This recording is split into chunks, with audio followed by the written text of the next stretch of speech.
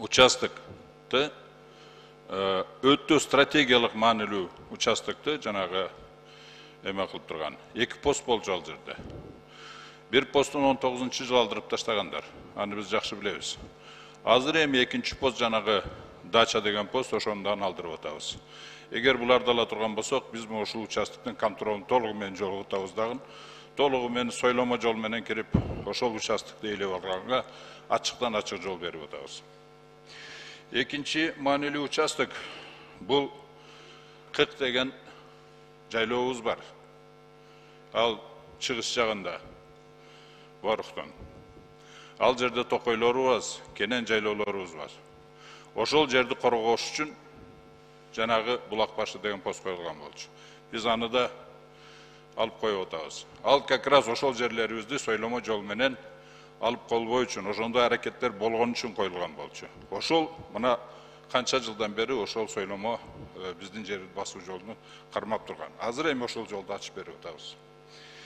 Эми дагы дагы бир эмебиз керевшин деген аябай чоң дагы жайлообуз бар. Ал жерде токойлорубуз анан тышкары аксай сайынын башы дарыябыздын башы ошол жерде.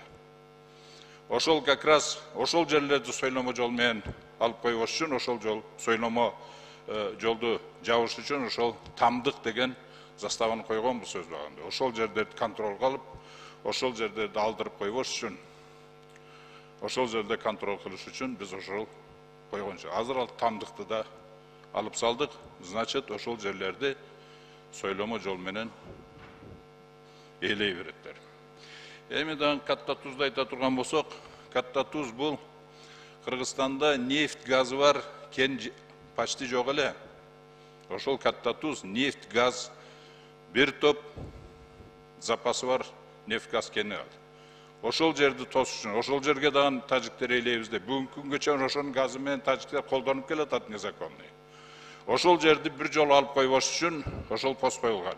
Азыр бүгүн ал посту дагы алып атабыз. Значит ошол биздин кенибизди басып алганга ал жерде эч ким жашабайт тосо турган эл жок ал жерде. Тажиктер кирип басып алышка ачыктан ачык жол ачып берип атабыз. Анан эми жанагы кечээ кырк экинчи протоколду койгондо ушул бүт посттор алынды. Ошол посттор ошол посттор алынганда мындай деп айттылар.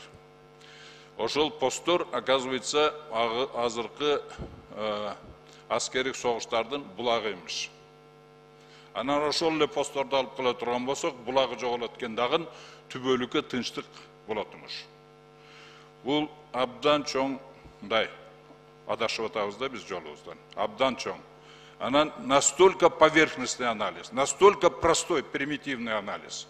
Буга эч ким ишенбейт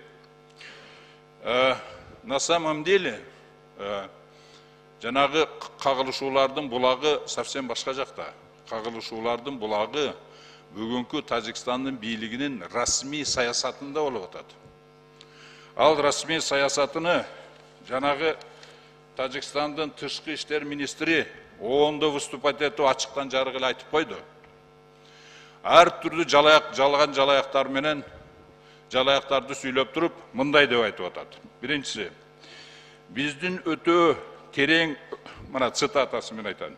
Биздин өтө терең өкүнүчүбүзгө дейт байланыштуу кыргыз тарап бир миң тогуз жүз элүүнчү жылдардан бери дейт өзүн билемдик менен тажиктердин жерин кылдаттык менен басып келишүүдө дейт ушул күнгө чейин дейт жүз он квадратный километр ашык жерди мыйзамсыз ээлеп келет дейт.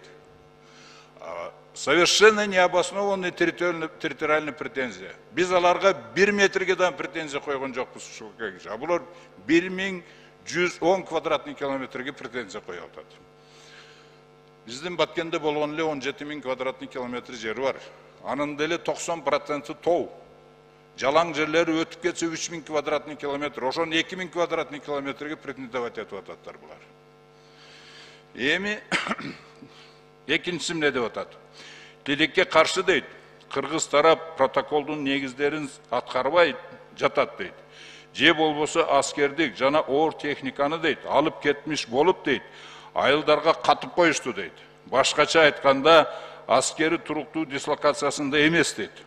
Ушуга байланыштуу дейт чек арадагы эмки кезектеги дейт согуш кагышуулар кыргыздардын жоопкерчилигинде болот деп эсептейбиз деп атат мындайча айтканда тажиктер ушул претензиясы менен дүйнөлүк коомду өздүгү эмдиги обширный агрессиясыга жол ачып атат дүйнөлүк коомду даярдап атат ачык эле даярдап атат ал эми манабы алардын эмеси жанагы эмеде ятимовдун жанагы берген интервьюсунда сразу кырк экинчи протокол коюлду бул ачык эле айтып атат мир будет соблюдаться до тех пор дейт пока будет соблюдаться требования протокола сорок два дейт ушул эле сөздү жыйырма биринчи жылы согуштан кийин отуз тогузунчу протоколду дагы кол койгондо ушул эле сөздү айтты. Азыр бирме бир кайталады ушуну.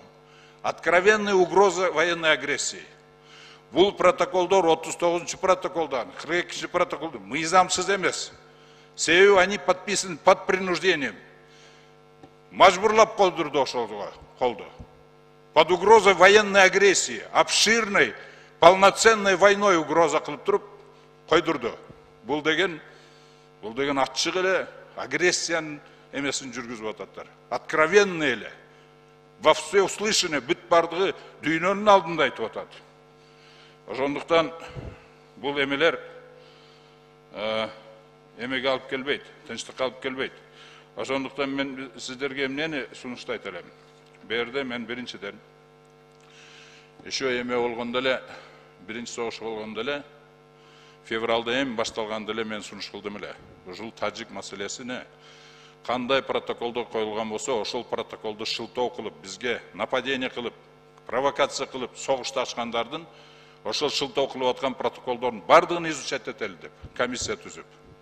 Ошолордун баарын изучать этип ошону системага салайт. Анан кийин ошол кайталанбаш үчүн эмне кылыш керек ошол чечимдерди? Анан кийин ошол протоколдорду толугу менен жокко чыгарып салыш керек.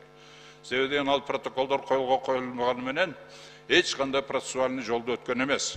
Ратификация болгон эмес ошондуктан онго жакын протоколубуз ошол жерде висячка кылып тажиктерге шылтоо берип атат биз жака агрессия кылганга еще ошого шылтап туруп дүйнө жүзүн даярдап атат биз агрессия кылабыз себеби деген кыргыздар моундай моундай моундай деп бизди агрессор кылып ататтар ошондуктан муну мен ойлойм бул эмени ушул убакка чейин комиссиянын эмеси боло элек бир да эме бизден башка биздин фракциядан башка эч ким эмесин бербеди ушуну кайрадан жандандырып баардыгыңыздарды мен суранып кетем. Ушул комиссияга өзүңүздөрдүн мүчөлөрүңүздү жибериңиздер. Андан тышкары ушул протоколдордун баардыгыны тажиктерге военный агрессия кылганга шылтоо болуп аткан протоколдордун баардыгыны биз жокко чыгарышыбыз керек. Ошол жокко чыгарганыбызда анан кийин бул шылтоо болбой калат правовой базасы болбой калат агрессия кылганда. Бизди агрессор кылганга эч кандай шылтоолор болбой калат ошондуктан мен ушунун баардыгыны эме кылганга.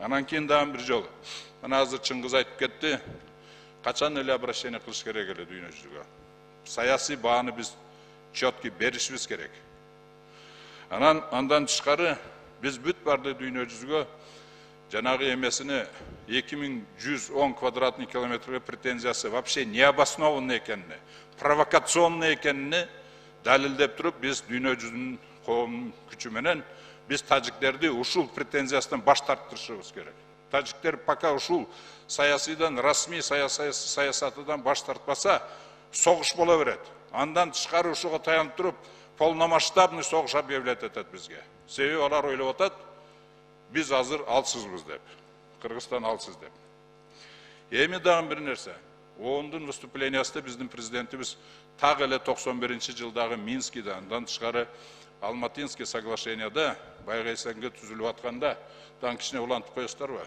мен бүтүп эле калдым түзүлүп атканда ошон пункту менен конкретный жазылган что пограничный вопросторду решать эткенде снг ортосунда сссрдин убагыдагы административный границаларды республика ошону токсон төртүнчү жылы ельциндин эмесинде бул менин сөзүм эмес президенттин сөзү ельциндин руководствосунда кайрадан ошого кол койгондор баардыгы мунун баардыгы президенттер кол койгон и бүт баардыгы э, парламенттер ратификация кылган ошондуктан бул эң мирный эң компромисстүү эң тез чечиле турган жол ушул жол ушуну биз расмий саясат кылып чек ара боюнча расмий саясат кылып ушуну биз бүт баардыгыбыз мамлекетибиз ушул саясатты жылдырып мына президенттин оонда айткан сөздөрүн колдоп туруп ушуну саясат кылып ошону жылдыра беришибиз керек. Чоң рахмат.